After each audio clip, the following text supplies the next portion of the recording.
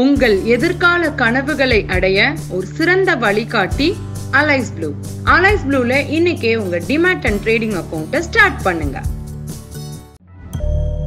நம்முடைய இணைப்பில் திரு ரவீந்திரன் துரைசாமி அவர்கள் இருக்கிறார். வணக்கம் திரு ரவீந்திரன் துரைசாமி சார் வணக்கம் ஆதேஷ் சார் இந்த கொரோனா பாதிப்பில் பதினோராவது நாள் நாமெல்லாம் வீடுகளில் முடங்கிட்டு இருக்கோம். இந்த சமயத்துல காலம் சென்ற திரு பி கே மூக்கைய தேவர் அவருடைய நினைவு நாளா இருக்கட்டும் செப்டம்பர் ஆறு அதே போல இன்னைக்கு ஏப்ரல் நாலு அவருடைய பிறந்த நாள். இந்த நாளில் நெல் மாவட்டங்கள்ல ஒரு பகுதியில் இந்த உருச உசிலம்பட்டி போன்ற பகுதிகளில் வந்து ஒரு கொண்டாட்ட மனநிலையில அவருக்காக அவருக்கு அந்த மரியாதையை செலுத்தக்கூடிய நிகழ்வுகள்லாம் நடக்கும். ஆனா இன்னைக்கு ஒரு சில இடங்கள்ல அனுமதி கேட்டு பத்து பேர் கூடாத ஒரு சிலர் போய் மரியாதை செலுத்துற காட்சிகள்லாம் நம்ம பார்த்துட்டு தான் இருக்கோம். அதே போல வீடுகளில் அவருடைய புகைப்படத்துக்கு மலர் தூவி மரியாதை செலுத்திட்டு இருக்காங்க. பி கே மூக்கைய தேவரை பற்றி ஏற்கனவே நீங்க ஆதன் தமிழ்ல பேசியிருக்கீங்க. பட் இருந்தாலும் அவருடைய இந்த பிறந்த நாளில் அவரை பற்றியான நினைவுகளை சிலர் பகிர்ந்து கொண்டால் நல்லா இருக்கும் சார் நிச்சயமாக இதுவரை மூக்கையா தேவரை பற்றி கூறாத தகவல்களையும் பார்வர்ட் பிளாக் காரர்களையே வந்து மூக்கில் விரல் வைக்கக்கூடிய தவறுகளையும் தகவல்களையும் என் ஆய்வின் அடிப்படையில் மனச்சாட்சியுடன் நான் பதிவு செய்ய விரும்புகிறேன். குறிப்பாக வந்து மூக்கையா தேவர் வந்து ஒரு கல்வி வள்ளல்னு சொல்லலாம். அவர் அரசியல் பணிகளையும் தாண்டி அவர் உசிலம்பட்டியிலும் கமிதியிலும் சங்கரங்கோயிலிலும் மூன்று ஊர்களில் பசும்பன் முத்துராமலிங்க தேவர் நினைவை போற்றும் வகையில் அவர் பெயரில் மூன்று கல்வி மூன்று கலைக்கல்லூரிகளை நிறுவினார்.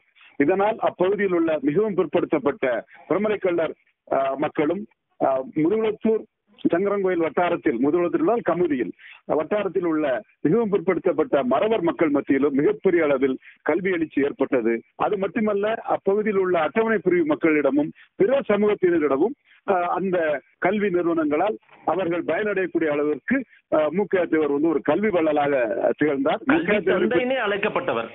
நிச்சயமாக நிச்சயமாக. அது மற்றபடி முக்கிய தேவரின் மற்ற சிறப்புகளை கூற வேண்டும் என்றால் பார்வர்ட் பிளாக் கட்சி பசும்பன் முத்துராமலிங்க தேவர் அதனுடைய நிறுவன தலைவராக தமிழகத்தில் இருந்தார். அவர் ஆயிரத்தி தொள்ளாயிரத்தி ஐம்பத்தி ரெண்டு ஐம்பத்தி ஏழு அறுபத்தி ரெண்டு மூன்று தேர்தல்களிலும் அவர் தலைமையேற்று பார்வர்ட் பிளாக்கை நடத்தினார். அப்பொழுது இந்த மூன்று தேர்தல்களிலும் பார்வர்ட் பிளாக் மூன்று அல்லது நான்கு சட்டமன்ற தொகுதிகளில் மட்டுமே வெற்றி பெற்றதும் ஒரு மக்களவை தொகுதியிலும் வெற்றி பெ- வெற்றி என்ற நிலையில் இருந்தது. ஆனால் குறுவை மிஞ்சிய சிஷியனாக மு க தேவர் தலைமையேற்று நடத்திய ஆயிரத்தி தொள்ளாயிரத்தி எழுபத்தி ஒன்றாம் ஆண்டு தேர்தலில் ஃபார்வர்ட் பிளாக் ஏழு சட்டமன்ற தொகுதிகளில் வெற்றி பெற்றது. மிகப்பெரிய அளவில் ஏழு சட்டமன்ற தொகுதிகளில் வெற்றி பெற்றது. ஆயிரத்தி தொள்ளாயிரத்தி எழுபத்தி ஒன்றில் ராமநாதபுரம் தொகுதி மக்களவை உறுப்பினராக ஐயா முதுகுளத்தூர் பாலகிருஷ்ணன் யாதவ் அவர்களை தோற்கடித்து முக்கிய தேவர்கள் அவர்கள் ஒரு மக்களவை உறுப்பினராகவும் வெற்றி பெற்றார். ஆக குருவை மிஞ்சிய சிஷியனாக அவர் இருந்தார் என்பதற்கு இந்த தேர்தல் வெற்றி ஒரு முக்கிய காரணமாக நாம் கூறலாம் பார்வர்ட் பிளாக் வரலாற்றிலேயே மிகப்பெரிய வெற்றியாக இதனை நாம் கருத முடியும். இதனை நான் ஏன் அழுத்தி சொல்கிறேன் என்றால் தமிழக சண்முக பாரதி என்பவர்கள் எல்லாம் குறுகிய எண்ணத்தோடு பொய்யான தகவல்களை பரப்பிக் கொண்டிருக்கிறார்கள். முக்கிய தேவர்களை தேவரின் புகழை சிதைக்கும் விதமாக விருதுநகர் கல்லூரி பேராசிரியர் திரு தமிழவேல் என்ற சண்முக பாரதி அவர்கள் ஒரு புத்தகம் எழுதியுள்ளார். தயவு செய்து அவர் மீண்டும் உண்மை நிலைமைகளை ஃபேக்சுவல் உணர்ந்து அதனை மாற்றிக்கொள்ள வேண்டும் என்பதை அந்த சகோதரிடம் நான் கேட்டுக்கொள்கிறேன். அடுத்தபடியாக இவர் கட்சி தலைமை ஏற்று ஏற்ற போது கூட மிகவும் சிக்கலான காலகட்டத்தில் தான் இவர் இந்த தலைமையை ஏற்றார். இவர் தலைமை ஏற்ற காலகட்டத்தில் வந்து முதலமைச்சர் கலவரத்திற்கு பிறகு ஆயிரத்தி தொள்ளாயிரத்தி அறுபத்தி ரெண்டாம் ஆண்டில் ஃபார்வர்ட் பிளாக் வந்து நான்கு தொகுதிகளில் வெற்றி பெற்றிருந்த ஃபார்வர்ட் பிளாக் வந்து அருப்புக்கோட்டை தொகுதியை இழந்தது. என்றாலும் அவர் அந்த கலவரத்தில் ஏற்பட்ட பாதிப்புகளும் அடுத்த கட்ட அரசியல் சூழ்நிலையில் எப்படி செல்வது என்ற ராஜதந்திர நடவடிக்கையில் மூன்று தேர்தல்களில் பசும்பன் முத்துராமலிங்க தேவர் தனித்தே போட்டியிட்ட தே- சூழலில் நான்காவது தேர்தலில் இனிமேல் தனித்து போட்டியிடுவது அஹ், நல்ல பலனை தராது என்- என்ற அடிப்படையில் குறிப்பாக வந்து பசும்பன் முத்துராமலிங்க தேவர் வெற்றி பெற்ற அருப்புக்கோட்டை தொகுதியில் காங்கிரஸ் செம்மநாட்டு மறவர் என்று ஜாதி அடிப்படையில் ஒரு வேட்பாளர் நிறுத்தி காசிநாத துரைசிங்க தேவர் என்ற ராமநாதபுரம் ராஜாவின் சகோதரர் சகோதரர் நிறுத்தி வெற்றி பெற்ற சூழ்நிலையில் அவர் அடுத்து வந்து அறுபத்தி ஏழில் கூட்டணி கூட்டணிக்கு தான் போக வேண்டும் என்ற ஒரு ராஜதந்திர முடிவை எடுத்தார். இந்த முடிவை அவர் முதலமைச்சர் ராஜாஜியுடன் இணைந்து எடுத்தார். இதன் அடிப்படையிலே திமுக தலைமையிலான கூட்டணியில் பார்வர்ட் பிளாக் முதல் முதலில் இடம்பெற்றது. ஒருவேளையில் பசும்பன் தேவர் இருந்தால் அவர் திமுக கூட்டணி ஏற்றிருப்பாரா என்ற என்ற கேள்வியை பலரும் இன்று எழுப்பலாம் ஆனால் ஒரு சமூக சமூஜித முடிவாக அறுபத்தி ரெண்டில் நான்கு தொகுதிகளில் ஒன்றை இழந்த சூழ்நிலையிலும் அறுபத்தி மூணில் அதன் நிறுவன தலைவர் ஐயா முத்துராமலிங்க தேவரின் தொகுதியிலேயே காங்கிரஸ் வந்து ஜாதி அரசியல் நடத்தி வெற்றி பெற்ற சூழ்நிலையிலும் குறிப்பாக அந்த தொகுதியில் வந்து முக்கியா தேவர் அவர்கள் வந்து பார்வர்ட் பிளாக் சார்பாகவும் ஒரு நல்ல மரவர் வேட்பாளரை நிறுத்த வேண்டும் என்றுதான் கூறினார். ஆனால் உள்கட்சி அரசியலில் அவர் அவருக்கு எதிராக இருந்தவர்கள் வந்து மதுரையைச் சேர்ந்த ஒரு நாயர் வழக்கறிஞரை நிறுத்தியதால் தான் பசுமன் முத்துராமலிங்க தேவரின் தொகுதி இடைத்தேர்தலில் பார்வர்ட் பிளாக் வெற்றி பெற முடியாமல் காங்கிரஸ் கையில் அந்த தொகுதி போய்விட்டது. என்றாலும் முக்கிய தேவர் வந்து அதில் அதில் சோர்ந்து விடவில்லை. அடுத்த கட்டம் கட்சியை எப்படி வெற்றி பெற செய்ய வேண்டும் என்ற தன்னுடைய நடவடிக்கைகள் மூலமாக திமுக கழகத்துடன் ஒரு கூட்டணியை ஏற்படுத்தி அந்த வெற்றியை பெற்றார். ஆக திமுக கழகத்துடன் கூட்டணியை வந்து மூதறிஞர் ராஜாஜியின் மூலமாகத்தான் அந்த கூட்டணியை அவர் அமைத்துக் கொண்டார். அந்த கூட்டணி அமைத்தது மிகப்பெரிய ராஜதந்திர முடிவு. அதை ஏதோ திமுகவுடன் கூட்டணி போய்விட்டார் ஏற்கனவே உள்ள கட்சியை கெடுத்து விட்டார் என்றெல்லாம் விமர்சனம் பண்ணுவது வந்து அரசியல் உண்மை நிலைமையை புரியாமல் யதார்த்தத்தை புரியாமல் செய்வதாகும். சண்முக பாரதி போன்றவர்கள் எல்லாம் இத்தகைய தவறுகளை செய்ய வேண்டாம் என்று நான் அஹ், கேட்டுக்கொள்கிறேன். அடுத்தபடியாக இவர் தன்னுடைய தலைவருக்கு மிகுந்த விசுவாசமாக இருந்தார். முத்துராமலிங்க தேவருக்கு மிகுந்த விசுவாசமாக இருந்தார். அதற்கு பல எடுத்துக்காட்டுகளை கூறலாம். மூன்று விஷயங்களை நான் கூறுகிறேன். ஒன்று அவர் பெயரில் அவர் பெயரில் மூன்று கலைக்கல்லூரிகளை நிறுவினார். அடுத்தபடியாக வந்து ஆயிரத்தி தொள்ளாயிரத்தி அறுபத்தி இரண்டாம் ஆண்டு பசுமன் முத்துராமலிங்க தேவர் இரண்டு தொகுதிகளில் போட்டியிட வேண்டும் என்ற கருத்தை முக்கிய தேவர் முன்வைத்தார். ஆனால் கட்சிக்குள் உள்ள சில பிரச்சனைகள் காரணமாகவும் பசுமன் முத்துராமலிங்க தேவரின் உடல்நிலை காரணமாகவும் அருப்புக்கோட்டை மக்களவை தொகுதியில் மட்டும்தான் முத்துராமலிங்க தேவர் போட்டியிட நேர்ந்தது. முதுகுளத்தூர் சட்டமன்ற தொகுதியில் ஏற்கனவே முத்துராமலிங்க தேவரை எதிர்த்து ஐம்பத்தி ரெண்டில் போட்டியிட்ட போட்டியிட்டவரும் பின் முத்துராமலிங்க தேவரின் ஆதரவை பெற்று ஐம்பத்தி ஏழு சட்டமன்ற இடைத்தேர்தல் போட்டியிட்டவருமான சசிவர்ண தேவர் ஆயிரத்தி தொள்ளாயிரத்தி அறுபத்தி ரெண்டு பொதுத் தேர்தலிலும் முத்துராமலிங்க தேவர் பொதுவாக ரெண்டு தொகுதிகளில் ஆயிரத்தி தொள்ளாயிரத்தி ஐம்பத்தி ஏழில் ஐம்பத்தி ரெண்டில் போட்டியிட்ட சூழ்நிலையில் ஆயிரத்தி தொள்ளாயிரத்தி அறுபத்தி ரெண்டாம் ஆண்டு அவர் ஒரு தொகுதியில் மட்டுமே போட்டியிடக்கூடிய ஒரு சூழ்நிலை அவர் உடல்நிலை காரணமாகவும் அரசியல் சூழ்நிலை காரணமாகவும் ஏற்பட்டது. முக்கிய தேவர் அதில் மிகவும் வேதனைப்பட்டார். அவர் வந்து அஹ், முதுகுளத்தூர் சட்டமன்ற தொகுதியிலுமே முத்துராமலிங்க தேவர் தான் போட்டியிட வேண்டும் என்று வற்புறுத்தினார். ஆனால் அன்று சிட்டிங் எம்எல்ஏ இருந்த சசிவர்ண தேவர் அவர்கள் மீண்டும் ஒருவேளை காமராஜரே மீண்டும் ஆட்சிக்கு அமர்ந்தால் அஹ், நாம் மீண்டும் இங்கு இடைத்தேர்தல் சந்திக்க வேண்டியிருக்கும். அத்தகைய இடைத்தேர்தல் நமக்கு வந்து பெரிய பாதிப்பை நமக்கு ஏற்படுத்திவிடும். அதனால் இந்த முறை அருப்புக்கோட்டையில் மட்டுமே ஐயா முத்துராமலிங்க போட்டியிடட்டும். இங்கு நானே சட்டமன்றத்தில் போட்டியிடும் என்று தன்னுடைய நிலைப்பாட்டை வற்புறுத்தியதன் சூழ்நிலையில் முக்கிய தேவர் எதிர்பார்த்தது மாதிரி முத்துராமலிங்க தேவர் வந்து அறுபத்தி ரெண்டாம் ஆண்டு இரண்டு தொகுதியில் போட்டியிட முடியாத ஒரு சூழ்நிலை ஏற்பட்டது. பின்னர் பின்னர் காங்கிரஸ் அரசு முத்து- முத்துராமலிங்க தேவரின் குரு பூஜைக்கு தடை விதித்த போது முக்கிய தேவர் தான் முன்னின்று அந்த தடையை எதிர்த்து கைதானார். என்னை பொறுத்தவரை இதுவரை மற்ற இரண்டு எம்எல்ஏக்கள் பார்வர்ட் பிளாக்கை சேர்ந்தவர்கள் கைதானார்களா இல்லையா என்பதை பற்றி எனக்கு சரியான தகவல்கள் இல்லை. ஆனால் உறுதியாக சொல்வேன் முக்கிய தேவர் அந்த தடையை எதிர்த்து வீரமாக போராடி கைதானார் முத்துராமலிங்க தேவருக்காக என்பது வரலாறு. அடுத்தபடியாக நீங்க முக்கிய தேவரோட இன்னொரு சிறப்பு சொல்லணும்னா முத்துராமலிங்க முத்துராமலிங்க தேவருக்கு மதுரை மதுரையில் மிகப்பெரிய சிலையை நிறுவி அவர் ஆதரித்து அவரால் வெற்றி பெற்ற வி வி கிரியை கொண்டு வந்து தமிழக முதல்வர் கலைஞர் கருணாநிதியின் துணையோடு நிச்சயமாக இதில் தமிழக முதல்வர் கலைஞர் கருணாநிதியின் துணை இருக்கிறது. அதை நாம் மறுத்துவிட்டு பேசுவதும் நியாயமான நியாயமாகாது நன்றி உணர்வுக்கு அப்பாற்பட்டதாகிவிடும் என்று நான் கருதுகிறேன். கருணாநிதியின் துணையோடு வி வி கிரியை அழைத்து மிகப்பெரிய ஒரு சிலையை முத்துராமலிங்க தேவருக்கு வைக்கப்பட்ட சிலையை சொல்றீங்களா சார்?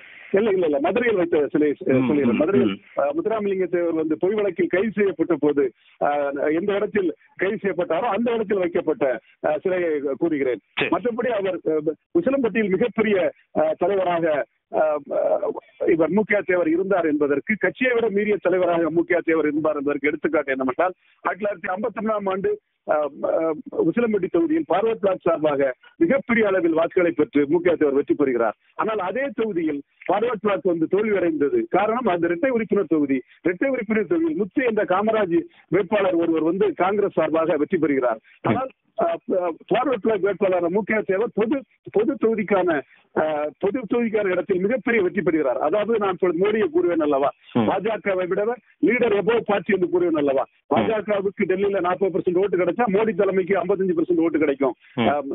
பாஜகவுக்கு வந்து மத்திய பிரதேசம் நாற்பது பர்சன்ட் கிடைச்சா மோடி தலைமைக்கு 52% பர்சன்ட் கிடைக்கும்லாம் நம்ம ஆதாரத்தோடு சொல்வது போல். முக்கிய தேவர் அவர்கள் பார்வர்ட் பிளாக் இரட்டை உறுப்பினர் தொகுதியில் தனி தொகுதி வேட்பாளர் தோற்ற நிலையிலும் தன்னுடைய தனிப்பட்ட செல்வாக்கில் உசிலம்பட்டியில் இஸ் லீடர் எபோ பார்ட்டி என்ற அடிப்படையில். பார்வர்ட் பிளாக்கை விடவும் பெரிய தலைவராக உசிலம்பட்டியில் முக்கிய தேவர் இரு- இருந்தார் என்ற அளவுக்கு பெரிய வெற்றி பெற்றார். குறிப்பாக அந்த தொகுதியில் அவர் எழுபது சதவீதத்திற்கு மேலெல்லாம் வாக்குகளை பெற்று வெற்றி பெற்றிருக்கிறதை நாம் புள்ளி விவரங்களை நாம் பார்த்து ஆராய்ந்து பார்க்கும்போது மிக தெளிவாக நாம் அதனை உணர முடிகிறது.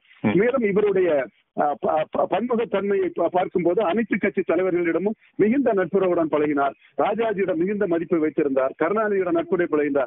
காமராஜரிடம் மிகுந்த ஒரு நட்பை பாராட்டிய ஒரு தலைவராக தான் முக்கிய முக்கிய தேவர் இருக்கிறார் என்பதை பல சட்டமன்ற வரலாறுகளை நாம் பார்த்தால் மிக தெளிவாக நாம் அதனை கூற முடியும்.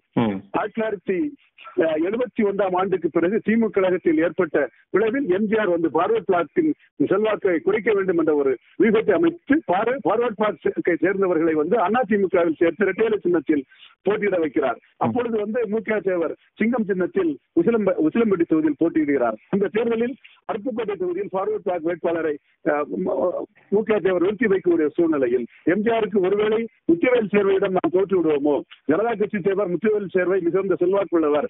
ஃபார்வர்ட் பிளாக் வந்து வேட்பாளர் நிறுத்துகிறார்கள். கடைசி நேரத்தில் ஃபார்வர்ட் பிளாக் ஃபார்வர்ட் பிளாக்கும் மற்றவர்களும் முத்திவேல் சேவை பின்னால் திரண்டு விட்டால் தனக்கு தோல்வி ஏற்றுக்கொள்வோம் என்ற அச்சத்தில் மிகப்பெரிய வெற்றி எம்ஜிஆர் தேர்தலுக்கு பிறகு பெற்றார் முடிவில் பெற்றார் என்பது உண்மை. ஆனால் தேர்தலுக்கு முன்பு எம்ஜிஆர் என்ன முடிவெடுத்தார் என்பதை தான் பார்க்க வேண்டும். ஒருவேளை தனக்கு தேர்தல் வெற்றி கேள்விக்குறியாகுமோ என்ற அச்சத்தில் அவர் மு. க. தேவரிடம் சமரசம் செய்து கொண்டார்.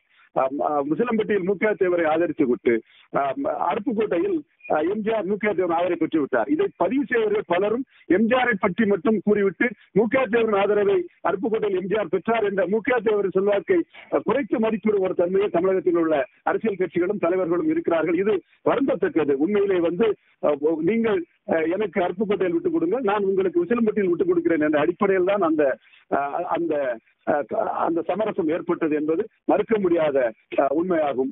மேலும் அவர் அரசியல் அரங்கத்தில் வந்து ஒரு எளிய தொண்டராக இருந்து செயல்பட்டார். ஊழலுக்கு அப்பாற்பட்ட ஒரு மக்கள் தொண்டராக அவர் செயல்பட்டார். தன்னோட தலைமைக்கு மிகுந்த விசுவாசம் மிக்கவராகவே அவர் இருந்தார். நான் விசுவாசம் மிக்கவராக தலைமைக்கு இருந்தார் என்று நான் மீண்டும் மீண்டும் மீண்டும் அழைத்து சொல்வதை காரணம் என்னவென்றால் அந்த கட்சியை சார்ந்தவர்களுக்கு மிக நன்றாக தெரியும். பார்வர்ட் பாக்கில் ஆயிரத்தி தொள்ளாயிரத்தி அறுபத்தி ரெண்டில் மூன்று எம்எல்ஏக்கள் இருந்தார்கள். ஒருவர் முக்கிய தேவர் இன்னொருத்தர் வந்து முதுகுளத்தூர் வெற்றி பெற்றவர் இன்னொருவர் திருச்சூழில் வெற்றி பெற்றவர்கள். மற்ற ரெண்டு பேர்களும் முத்துராமலிங்க தேவர் நிவை போற்றுமலாவுக்கும் அல்லது உயிரோடு இருந்த போதும் எப்படி செயல்பட்டார்கள் முக்கிய தேவர் எப்படி விசுவாசமாக செயல்பட்டார் என்பதை வந்து அந்த கட்சியை சார்ந்தவர்களுக்கு மிக நன்றாக தெரியும். அதனால்தான் அதனால தான் இவரை தேவர் தந்த தேவர் என்று அந்த பார்வர்ட் பிளாக் மக்கள் வந்து பாராட்டுகிறார்கள். முக்கிய தேவரின் அரசியல் வரலாறு என்பது முதலில் முத்துராமலிங்க தேவர் மறைந்ததால் முத்துராமலிங்க தேவர் குளோரிஃபை பண்ணப்பட்ட ஒரு சூழ்நிலையில் முக்கிய தேவரின் பல சிறப்புகள் வந்து சரியான அளவில் மக்களிடம் எடுத்து சொல்லப்படவில்லை. இந்த அவருடைய பிறந்த நாளில் நிச்சயமாக நாம் இந்த இந்த பகுதியில் பல ஆய்வுகளை செய்தவன் இன்னும் பல ஆய்வுகளை செய்து பல உண்மைகளை தரவுகளை என் கையில் வைத்திருப்பேன் என்ற- அடிப்படையில் முக்கிய தேவரின் சிறப்புகளை இந்த ஆதன் தொலைக்காட்சி மூலமாக எனக்கு கூறுவதற்கு வாய்ப்பு கிடைத்ததற்கு உண்மையிலேயே மகிழ்கிறேன். முக்கிய தேவரின் முழுமையான சிறப்புகள் ஒன்று இந்த முழுமையாக அந்த பார்வை கட்சிக்காரர்களாகவே வெளியே எடுத்து சொல்லப்படவில்லை. என்றாலும் என்னை என்னால் முடிந்தவரை ஓரளவு முக்கிய சேவரின் தனித்தன்மைகளும் அவர் பெற்ற வெற்றிகளையும் எனக்கு இந்த பதிவு செய்ய பதிவு செய்வதற்கு வாய்ப்பு கிடைத்ததற்கு ஆதன் தொலைக்கா ஆதன் தொலைக்காட்சி நிறுவனத்திற்கு நன்றியை தெரிவித்துக் கொள்கிறேன். ஒரு சரியான நேரத்துல ஒரு நல்ல ஒரு நினைவுகளை வந்து பகிர்ந்து கொள்ளக்கூடிய இடத்துல பி கே முகேத் அவருடைய வரலாறு நீங்க சொல்லியிருக்கீங்க. அதை நேர்கள் கிட்ட கொண்டு போய் கொடுப்போம். மிக்க நன்றி. இணைப்பில் வந்து தகவல் கொடுத்தமைக்கு திரு ரவீந்திரன் துரைசாமி சார். நன்றி.